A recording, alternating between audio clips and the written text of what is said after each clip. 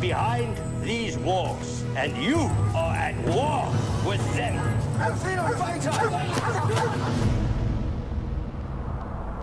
Which one is Mandela? He's in solitary. And you.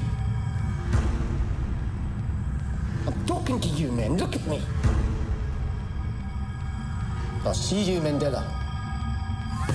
Nelson Mandela. It's awful. Yeah, it's a big responsibility. How are our daughters? Terrified the security will come and bash down our door. That is political, Mrs. Mandela. It's not. It is about our family. Foreigners aren't allowed to see children Why not? because they're here for punishment. What is that, people? It's apartheid. I fight for a better world where people like you and I can live peacefully side by side. These are ideals you kill for. These are ideas I would die for. One man, one vote, free and fair elections for all. They're only interested in power. A man found. He said we care for lovers, and we're all gonna die. Fucking kaffir, lover. I've not touched my wife in 21 years.